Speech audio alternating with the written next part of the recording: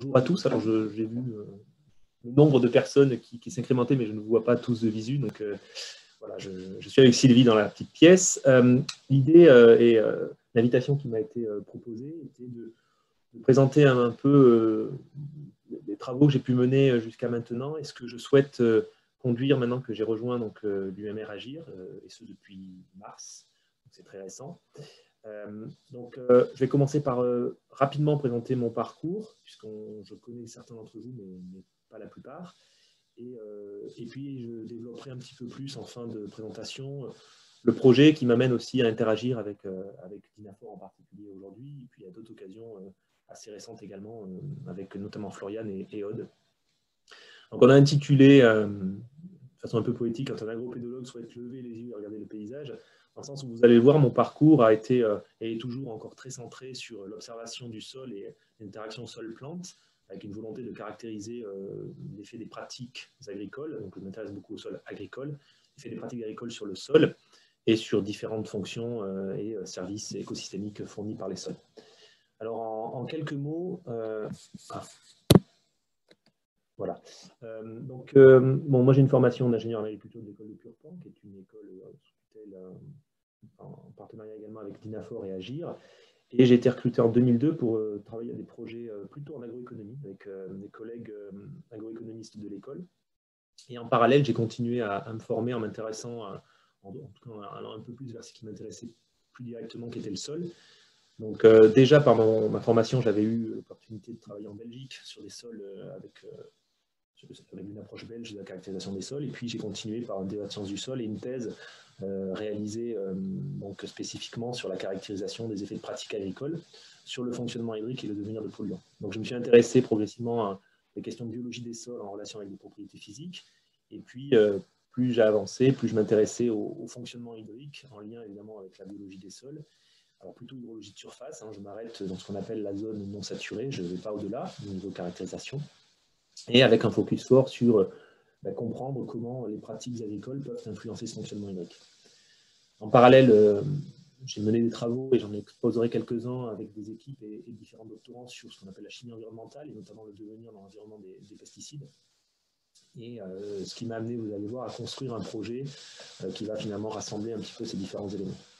Alors, en, Complément, euh, évidemment, en s'intéressant aux pratiques agricoles, je me suis plongé dans l'agronomie et, euh, véritablement avec euh, mon intégration au sein d'Agir qui s'est réalisée en 2008 en tant que chercheur, enseignant-chercheur associé. J'ai développé des travaux autour de l'agronomie systémique et aujourd'hui plus, largement rassemblé autour de, l'agroécologie avec une volonté, je vois pas petite fenêtre toutes mes diapos, voilà, je vais un petit peu, euh, avec une volonté de, caractériser les performances multicritères du système de culture.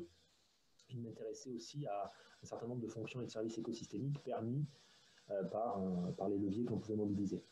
Donc, il y a eu, euh, là vous avez quelques illustrations de travaux que j'avais pu mener à l'époque sur le domaine de la mode, qui est la ferme de l'école de Curpan, donc avec la mise en place d'une expérimentation longue durée sur les systèmes, et dans lequel on cherchait à mesurer un certain nombre d'impacts. Et là vous avez une illustration sur la droite des, euh, flux, euh, des mesures de flux d'eau et de pesticides que l'on pouvait euh, suivre sur ces parcelles. Assez rapidement, on a initié des travaux avec l'équipe Vasco de l'UMR Agir autour des plantes de service. vous avez une illustration de couverts végétaux sur la, photo du bas. Et, du coup, comment mobiliser ces plantes de service dans des systèmes de culture avec un, attrait particulier pour les systèmes en agriculture de conservation, donc ils mobilisent, et j'y reviendrai sur, la suite, euh, trois leviers principaux, euh, réduction de travail du sol, mobilisation de rotation longue et diversifiée, et usage maximisé ou optimisé des cultures de service. En 2016, j'ai rejoint un organisme de développement agricole dans lequel je suis resté pendant presque quatre ans et où j'ai développé des approches participatives de reconception de systèmes en forte rupture vis-à-vis de l'usage des pesticides et alors même sur des systèmes se passant des pesticides. Et euh, finalement, toutes ces euh, approches m'ont amené à former euh, et à formaliser un projet que j'ai proposé donc, au sein d'INRAE et pour lequel j'ai été retenu et, au concours de l'an dernier, à, la même période d'ailleurs l'an dernier. Et donc j'ai rejoint INRAE en mars dernier pour mettre en place ce projet.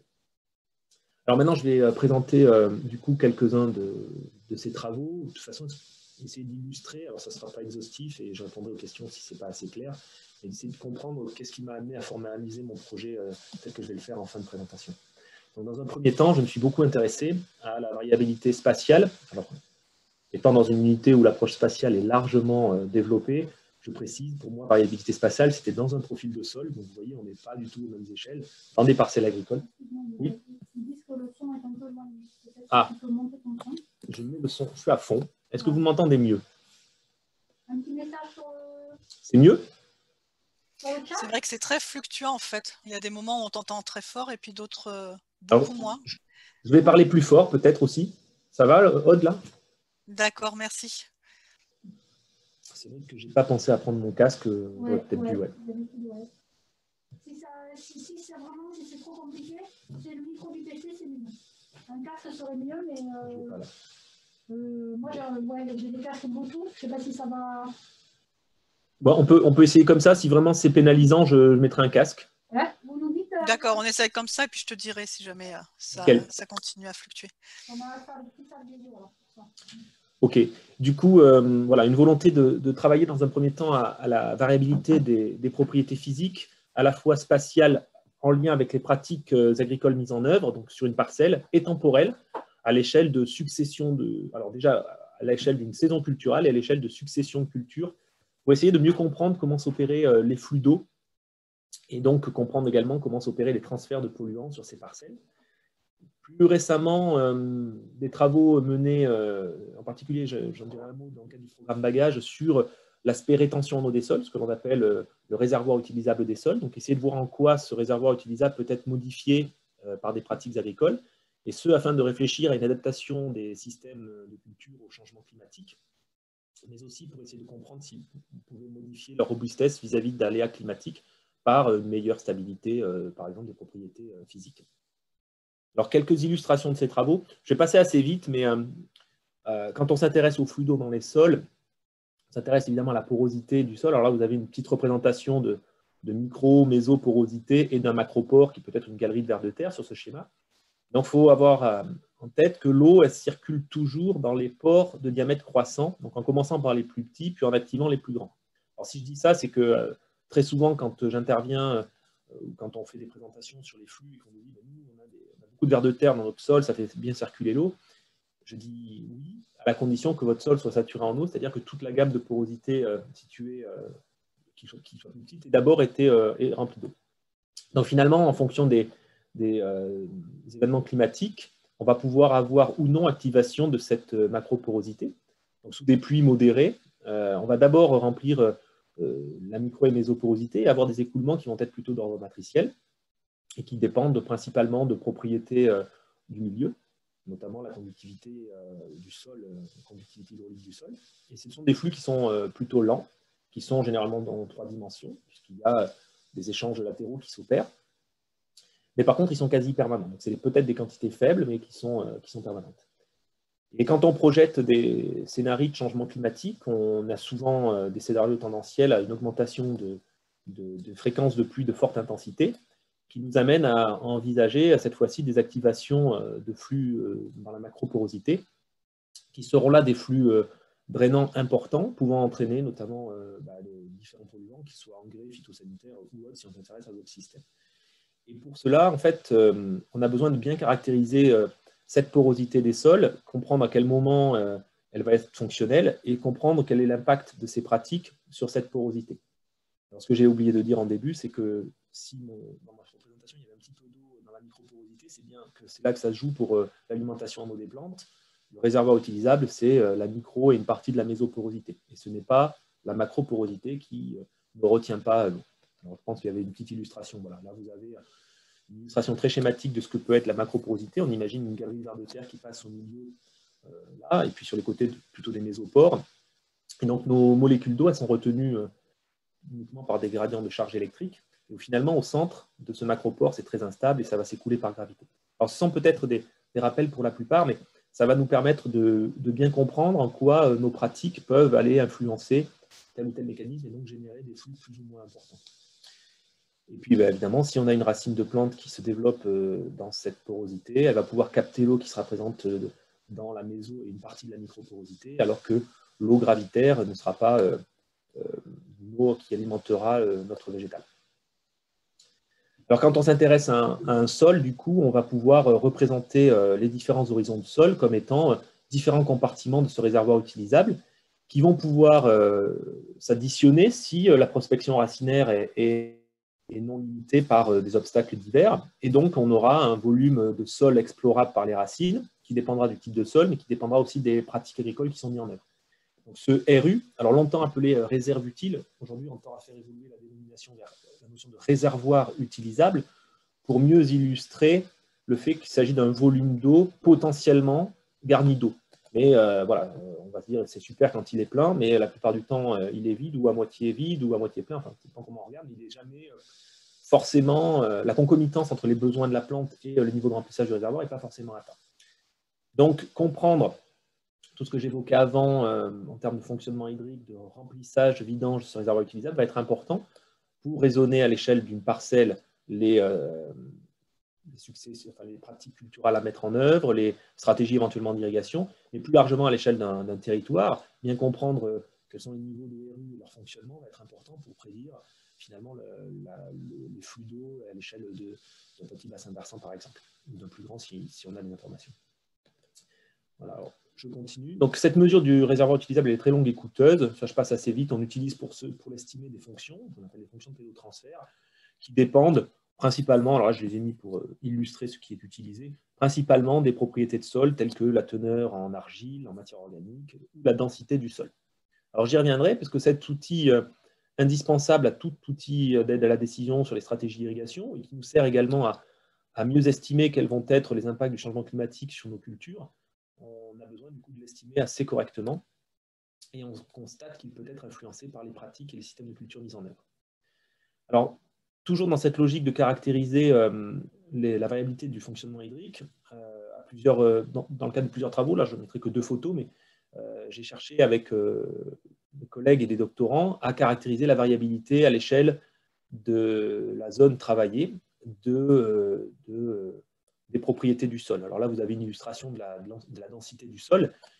Je ne rentre pas dans les détails, mais on constate que rien que par une opération classique et dans labour, on génère une très forte hétérogénéité dans le milieu qui va être source de flux d'eau très différenciés et donc de solutés qui seront euh, contenus dans, cette, dans la lame d'eau qui circulera. Ici, vous avez une illustration d'une parcelle labourée. On retrouve les interbandes de labour en diagonale, préparation du lit de semences, et puis en dessous, euh, une, semelle qui était ici assez nette. Et puis à l'inverse, on a fait euh, des caractérisations de systèmes qui n'étaient plus travaillés. Alors là, c'est un sol qui était euh, plus travaillé depuis 5 ans quand on a fait le, profil. On en a d'autres où on voit qu'on a finalement un milieu qui est beaucoup plus dense si on utilise la densité apparente comme indicateur dans lequel on n'a plus vraiment les limites arbitraires. Hein, les traits droits, c'est évidemment pas comme ça dans la réalité, mais c'était des limites arbitraires fixées. Mais euh, voilà, on a globalement un milieu qui est plus dense que celui qui est labouré, mais qui est plus homogène. Alors, cette prise en compte de la variabilité spatiale, elle doit s'accompagner d'une prise en compte d'une dynamique temporelle. Vraiment à titre illustratif et sans rentrer dans le détail, vous avez en haut donc, euh, une illustration de l'état de surface d'un sol labouré après labour début avril et jusqu'aux les premières feuilles du maïs qui sont fin mai. Donc sur le, on va dire sur un mois et demi, deux mois, vous voyez comment l'état de surface va se fermer sur un sol qui va être là, en l'occurrence, régulièrement travaillé. Les conséquences de cela sont que bah, on augmente la densité apparente du sol, donc on augmente le niveau de, je dirais pas de compacité parce que ce n'est pas forcément un tassement, en tout cas la diminution de la porosité totale, et en parallèle, on a un effondrement des capacités d'infiltration. Alors là, ça va évidemment jouer sur la capacité de ce milieu à, euh, pouvoir euh, permettre une infiltration d'une lame d'eau dans des événements euh, pluvieux importants, avec une fermeture très rapide, puisqu'en un, espace de deux mois, on a perdu de 30 à 50% des capacités d'infiltration. Et ce que l'on a pu voir au travers des différents travaux que l'on a menés, et plus récemment le cadre du programme Bagage, c'est que dans les systèmes en agriculture de conservation, donc qui mobilisent vraiment la logique de diversification végétale, couverture maximisée des sols et réduction du travail du sol, on a une tendance à une moindre euh, fluctuation de ses propriétés, à savoir que le sol est souvent un peu plus dense, c'est la photo que j'ai montrée tout à l'heure, sur l'ensemble du profil, mais qu'il n'évolue pas aussi violemment que dans les sols travaillés, et que cette densité ne se traduit pas par une moindre infiltration, au contraire, on a des capacités d'infiltration qui sont souvent accrues et surtout qui sont beaucoup plus stables dans le temps. Tout cela pour dire que prédire euh, ces propriétés d'infiltration, ça va pouvoir nous aider à mieux comprendre euh, des flux de ruissellement et d'érosion sur nos sols, des remplissages de réservoirs utilisables ou euh, de la lixiviation et du drainage qui pourra s'opérer. Ce qu'on a pu identifier, c'est que dans les systèmes travaillés, on peut avoir une diminution du réservoir utilisable de près de 30% en, quelques, semaines. Et c'est particulièrement important puisque très souvent on considère cette, euh, ce paramètre comme peu variable, voire non variable, on l'affecte à un sol et, euh, on considère qu'il est stable dans le temps. Or, euh, bah, il n'est pas stable dans le temps et cela joue forcément sur l'alimentation en eau, en eau des plantes qui vont suivre. Alors ici, une autre illustration pour montrer un état de surface à gauche sur le sol qui est régulièrement travaillé, à droite sur un sol qui l'est peu, juste pour montrer que, voilà, par une indication simple de la rugosité et de la sinuosité, donc l'angulosité des agrégats et la sinuosité, c'est dans le chemin que doit parcourir la lame d'eau, on comprend que les pratiques culturelles vont avoir un rôle euh, important. Alors, dans le cadre du programme Bagage, et en particulier la thèse de Sixtine QF, qui a été récemment soutenue, on s'était intéressé à une soixantaine de parcelles euh, sur le bassin d'Ourgaronne, principalement ex-région Midi-Pyrénées. Et euh, donc Sixtine a, analysé l'effet de différentes pratiques, notamment en travail du sol et rotation, couverts végétaux, sur le réservoir utilisable. Elle a mis en évidence qu'il y avait un effet significatif, on n'est pas allé beaucoup plus loin parce que notre jeu de données n'était pas assez conséquent. Mais ce qu'elle a pu mettre en évidence, c'est que les fonctions de pédotransfert, donc ce que j'ai évoqué tout à l'heure, au lieu d'en avoir deux, elle en a étudié 29, euh, principalement issues de systèmes travaillés, n'étaient pas satisfaisantes pour prédire la taille du réservoir utilisable dans les sols conduits en agriculture de conservation. Donc euh, on essaye d'aller plus loin, mais la taille du jeu de données nous limite, pour essayer d'intégrer des paramètres agronomiques qui traduiraient mieux de euh, cette évolution et euh, une hypothèse que l'on formule, que l'on a pu identifier sur les, sols sur lesquels on a travaillé, c'est que euh, à densité équivalente, donc à, quantité de terre équivalente par unité de volume, on a une connectivité du réseau poral qui est modifiée, qui est accrue dans les systèmes peu travaillés. C'est lié principalement à la nature de cette porosité qui est d'origine biologique, galerie. Alors pas que des vers de terre, mais des méthodes, des galeries de racines, de couverts, etc et qui fait que finalement, pour une densité équivalente, on va avoir une meilleure circulation de l'eau et un meilleur remplissage du réservoir utilisable. Donc ça, ce sont des hypothèses que l'on va continuer à travailler dans les travaux euh, à venir. pour l'illustrer, je ne sais pas si la vidéo va passer, on va le tenter. Euh, ici, vous avez euh, deux parcelles, une conduite en agriculture de conservation depuis 20 ans sur la gauche, une labourée annuellement sur la droite.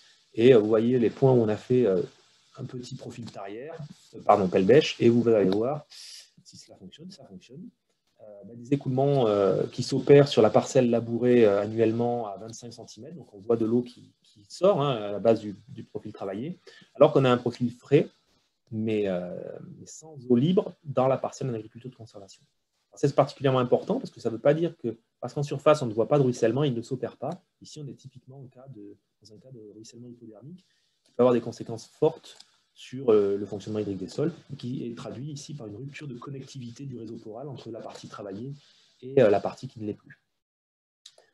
Alors j'ai fini sur l'aspect physique, je, vois que je déborde un petit peu, je vais essayer d'accélérer. Je vais dire quelques mots sur les aspects euh, produits phytosanitaires et leur devenir dans l'environnement, juste pour que vous compreniez que ma stratégie aujourd'hui, c'est d'aller vraiment travailler avec des collectifs à des systèmes qui n'en utilisent pas, puisque pour, après avoir travaillé longtemps sur les différents processus qui régissent le devenir des, pesticides dans l'environnement, alors on les voit ici, hein, euh, interception, rétention, dégradation des produits, qui peuvent générer une certaine disponibilité pour de la volatilisation, de la liquidation du ruissellement, donc ces processus qui vont faire que, on appelle ça de la dissipation, qui vont les, répartir dans différents compartiments de l'environnement. Euh, bah, par différents travaux, donc avec les collègues, on s'est intéressé à tous ces processus. Moi, je regardais en particulier l'effet des pratiques culturales sur ces processus, je me suis rendu compte que oui, on pouvait, euh, dans certains cas, améliorer la rétention. Alors, c'était le cas des travaux de thèse d'Anna Cassignol, qui a étudié l'effet des cultures intermédiaires. Donc, voir si le fait de maintenir un mulch à la surface du sol, ça permettait de réduire ou d'augmenter euh, la rétention et ou la dégradation des, pesticides. On s'est rendu compte que le mulch permettait d'augmenter la rétention, que plus il était vieux, c'est-à-dire plus on mettait un pesticide sur un mulch qui avait évolué, meilleure était la rétention. Donc, c'est les graphiques qui sont montrés là. On a pu simuler et intégrer cela dans des modèles euh, en lien avec la minéralisation de ce mulch, c'est-à-dire sa dynamique de décomposition. On voit des relations extrêmement intéressantes pour prédire la rétention du pesticide en lien avec cette décomposition. Donc, c'était, euh, en soi, c'est encourageant. On dit, bon, ben on peut avoir des pratiques qui améliorent la rétention.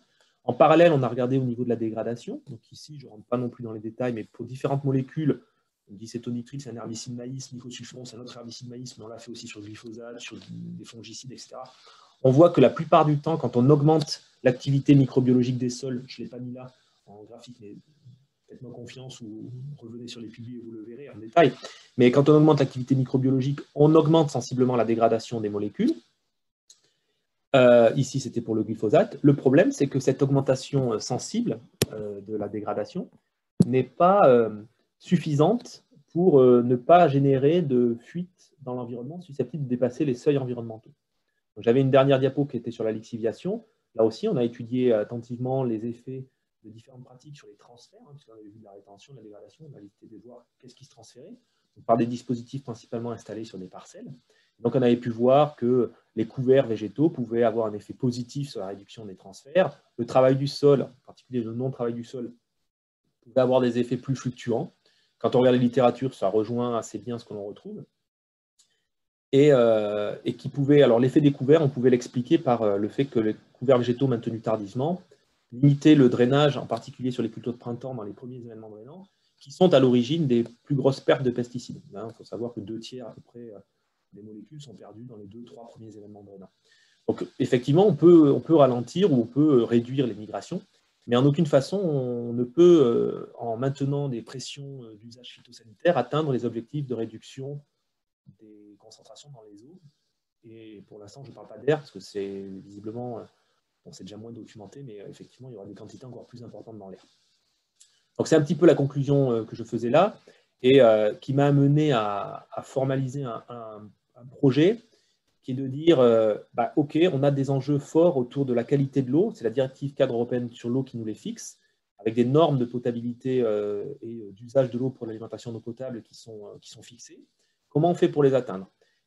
En parallèle, le plan Ecofito envisage, encourage la conception de systèmes économes. Et en fait, on, se rend bien compte qu'il est indispensable aujourd'hui de faire converger ces deux démarches pour euh, véritablement concevoir des systèmes robustes euh, d'un point de vue agronomique, performants d'un point de vue économique pour les agriculteurs, mais se passant durablement des pesticides. La conclusion était euh, en effet que on n'atteindrait pas, et ça je pourrais y revenir s'il y a des questions, des concentrations euh, susceptibles d'être rencontrées dans les eaux si on maintient des euh, applications de produits phytosanitaires telles qu'elles sont faites aujourd'hui. Et en parallèle, on a quand même des problématiques fortes, en particulier dans le sud-ouest, d'érosion de, nos sols, de perte de la fertilité globale des sols, de euh, diminution de l'eau disponible pour les plantes dans ces sols, et ce qui amène un développement de l'agriculture de conservation, en tout cas un questionnement fort de celle-ci, puisque actuellement les surfaces restent limitées en agriculture de conservation au niveau national, 4 à 5 des surfaces. Toujours est-il que un, ce sont des systèmes de culture qui interrogent, qui interpellent, qui, ont une belle dynamique d'innovation, mais euh, pour lesquels on sait que la dépendance au glyphosate reste euh, le talon d'Achille.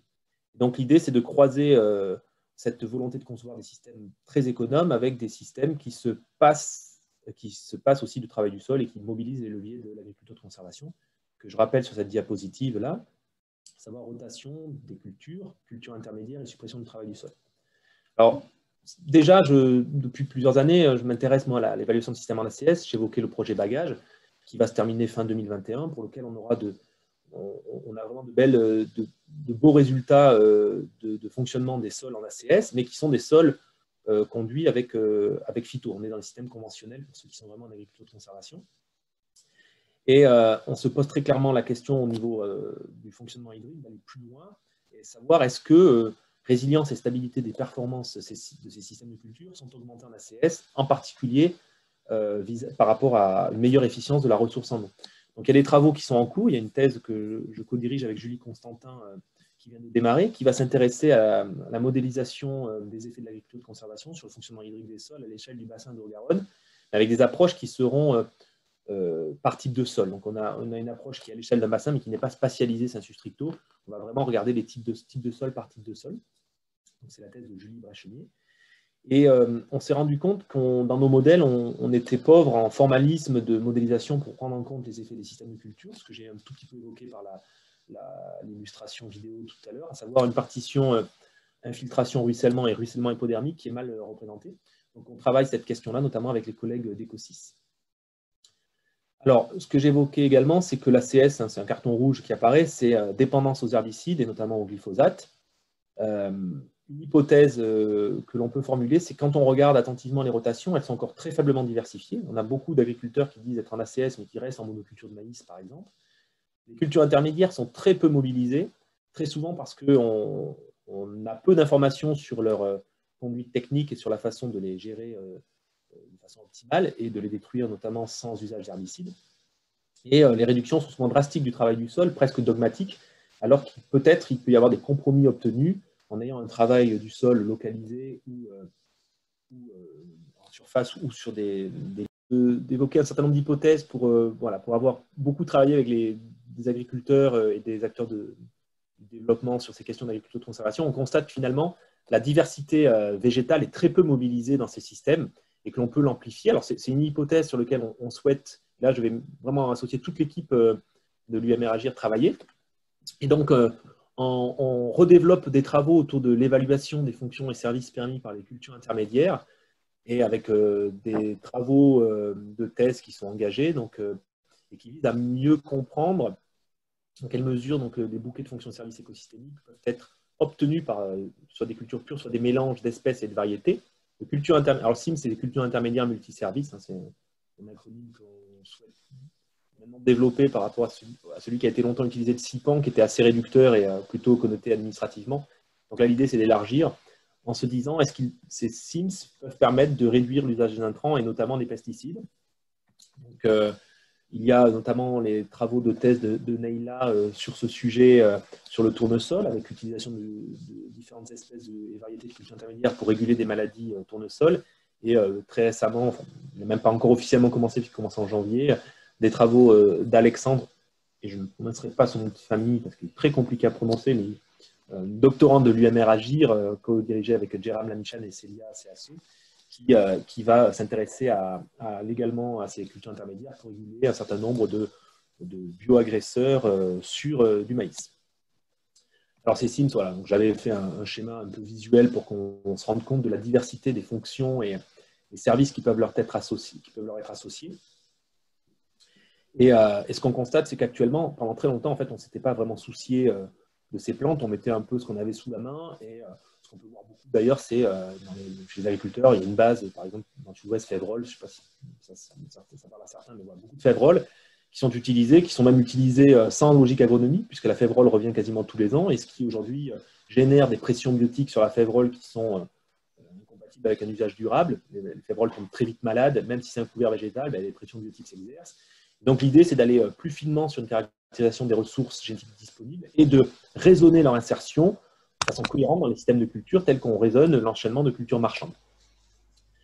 Et euh, une des questions que l'on souhaite euh, investiguer, c'est quel niveau de service de régulation peut-on obtenir à l'échelle du système pour différents cortèges de bioagresseurs, par exemple dans des systèmes où on aurait des blés, des tournesols, je prends l'exemple d'une application assez courte, est-ce qu'on peut arriver à réguler des, bioagresseurs et du tournesol et du blé par l'utilisation de certaines espèces ou variétés? Alors, cette, euh, ce schéma euh, et euh, cet axe de travail fait suite à la thèse d'Antoine Quedel, qui était sur l'héméragir, que j'ai avec qui avait fait un inventaire très exhaustif des régulations permises par les, cultures intermédiaires, et qui laisse entrevoir aujourd'hui de, belles innovations possibles, avec évidemment en tête qu'on reste sur des leviers agronomiques à effet partiel sur la régulation, euh, pas équivalent à, une utilisation de produits phytosanitaires, mais combiné à d'autres leviers, ça peut permettre déjà de, maintenir des, pressions, certaines pressions biotiques à des niveaux satisfaisants, voire très satisfaisants par rapport à la culture marchande qui va suivre.